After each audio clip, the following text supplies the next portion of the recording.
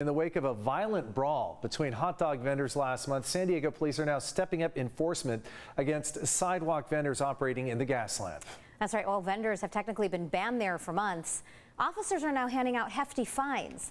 Police say this will increase safety, but as CBS 8's Richard Allen tells us, not everyone is in favor of the crackdown.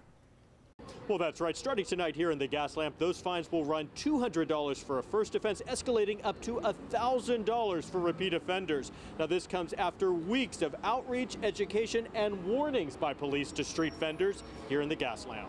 Tonight, there are no more warnings. It will be citations. This sweep comes after City Council in May specifically banned sidewalk vendors in the Gaslamp, East Village, and parts of Little Italy. Police say they want to cut down on potentially violent situations as a large number of people gather around a small cart. People are jostling into each other, and it leads to pushing and, and shoving and fighting. Yeah, yeah. This comes a couple weeks after an incident outside Petco Park when hot dog vendors from Los Angeles set up where local vendors usually sell, leading to a brawl and stabbing.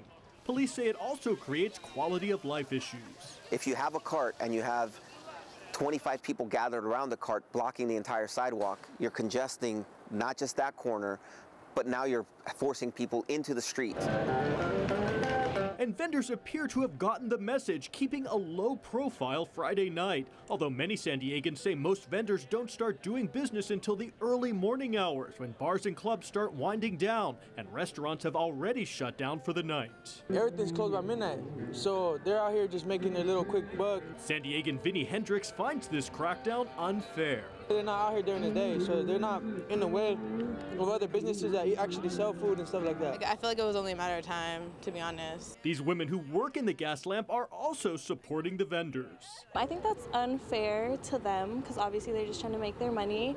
Um, it's good business out here too after the clubs close. I think they should start cracking down on them. But these visitors from New York back the move to step up enforcement. You got to clean up the streets a little bit. You can't have people bothering you like while you're walking down and trying to hang out and have a good night out, you know. And police are serious about this crackdown, along with those escalating fines up to $1,000. After the fourth offense, police say they could impound a street vendor's cart.